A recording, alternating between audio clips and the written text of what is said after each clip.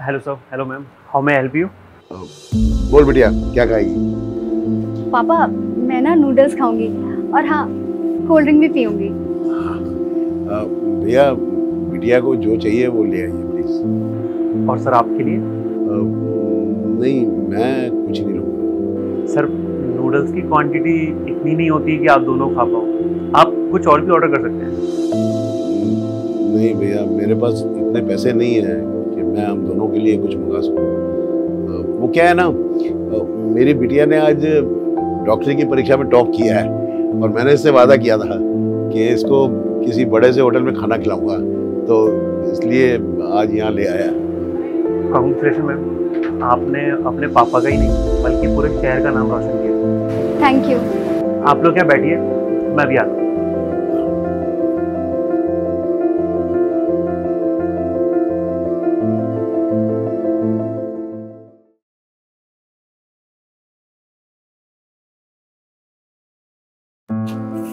भैया आप इतनी प्लेटें लगवा रहे हो। हमने तो सिर्फ़ वो एक नूडल्स मंगवाए थे। सर आपकी बेटी ने आपका ही नहीं बल्कि पूरे शहर का नाम रोशन किया है। और आज इतनी खुशी का दिन है। अगर आज के दिन भी आप या आपकी बेटी कॉम्प्रोमाइज़ करेंगे तो हमें अच्छा नहीं लगेगा। तो इसलिए आज आपके लिए सारा खाना हमारे कैफ़े की तरफ़ से बिल्कुल फ्री है। आप मेनू में से जो चाहें वो खा सकते हैं। सच? जी सर मैं आपके नूडल्स और बाकी का सारा सामान भेजता हूँ। बहुत बहुत शुक्रिया साहब। जी, आप इंजॉय करिए।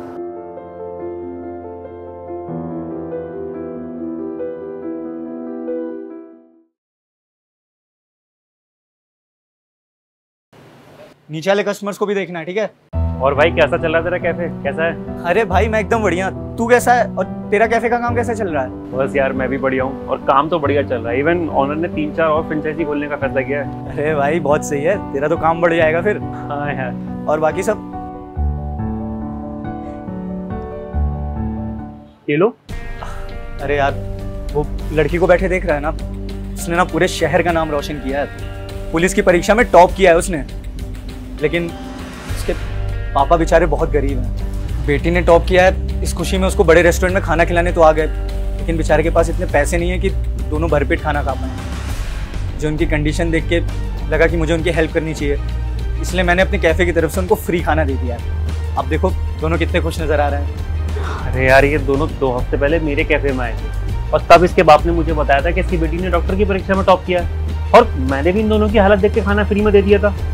क्या बात कर रहा है? मतलब ये दोनों फ्रॉड कर रहे हैं? हाँ देखते हैं। चल। तो कैसा लगा आप लोगों को खाना? खाना तो बहुत ही बढ़िया साहब बहुत अच्छा है। डॉक्टर बनने के दो हफ़्ते बाद ही आपकी बेटी ने पुलिस फोर्स ज्वाइन करने का फैसला ले लिया। आप साहब आप यहाँ तुम लोग को शर्म नहीं आती? खाना खाने के लिए ऐसे झूठ बोलते हो तुम लोग? अभी पुलिस को बुलाता हूँ दोनों के दोनों जेल जाओगे। नहीं नहीं साहब मजबूर हैं। मैं गरीब आदमी हूँ। कोई काम भी नहीं है मेरे पास इसलिए पेट भरने के लिए ये सब करता हूँ। अरे भगवान ने सही सलामत हाथ पैर दिए। हैं मेहनत करके ईमानदारी से खाओ ना। ऐसे बेटी का इस्तेमाल करके कब तक खा लोगे? और तुम्हें भी शर्म नहीं आती है? अपने पापा का ये गलत काम में तुम साथ दे रही हो। सब मैंने कई बार पापा को समझाया लेकिन ये मेरी बात मानते नहीं। आपको शर्म नहीं आती है? अरे अपने इस झूठ में अपनी बेटी को भी शामिल कर रहे हो? और ऐसे झूठ बोल के कितने कैफ़े में खाना खा लोगे साहब मजबूरी है साहब। एक तो गरीब आदमी और मुझ जैसे गरीब और अनपढ़ को कोई काम भी नहीं देता है। ये तो आज जैसे नेक लोग हमारी बातों में आ जाते हैं और हमें खाना खिला देते हैं तो एक दिन का इंतज़ाम हो जाता है पेट भर जाता है साहब। मजबूरी है साहब। देखो मुझे तुमसे कोई शिकायत नहीं है। बस एक बात ज़रूर कहूँगा। कि लोगों से झूठ बोल के खाना मांगने की जगह ईमानदारी से उनसे काम मांगो। अरे तुम जैसे लोगों की वजह से ना हम एक्चुअल में जरूरतमंद लोगों की मदद नहीं करते हैं। डरते हैं करने से पहले क्योंकि तुम जैसे लोग धोखेबाजी करते हो। साहब बहुत बड़ी गलती हो गई साहब मेरे से। मैं मैं मैं आगे से ऐसा कुछ नहीं करूँगा साहब। मैं मैं वादा करता हूँ। नाटक करने का कोई फ़ायदा नहीं है। दोनों के दोनों जेल जाओगे अभी पुलिस बुला रहा हूँ मैं समझे? नहीं नहीं साहब मेरी मजबूरी समझिए साहब। प्लीज़ आप पुलिस मत बुलाइए साहब। मेरी मेरी मेरी बेटी की ज़िंदगी खराब हो जाएगी साहब।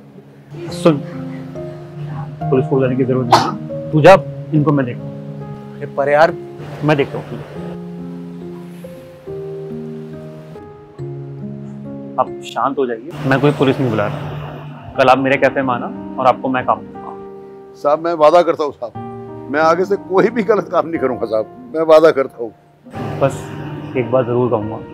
आप अपने बारे में नहीं, कम से कम अपनी बेटी के बारे में सोचिए। आप अपने झूठ में इसको भी शामिल कर रहे हैं, इसकी भी ज़िंदगी खराब कर रहे हैं। और अगर आपने आज से पहले भी किसी से मेहनत से काम मांगा होता ना तो आपको वो मिल गया होता। आज मैंने भी तो आपको काम दिया ना, आपकी हालत देख के। लेकिन नहीं, आपने आसान रास्ता चुनना ज़्यादा अच्छा समझा। आपने जगह जगह जाके लोगों से झूठ बोल के खाना मांगा। बस, दोबारा कभी ऐसा मत करना। कभी नहीं करूँगा साहब, कभी नहीं करूँगा।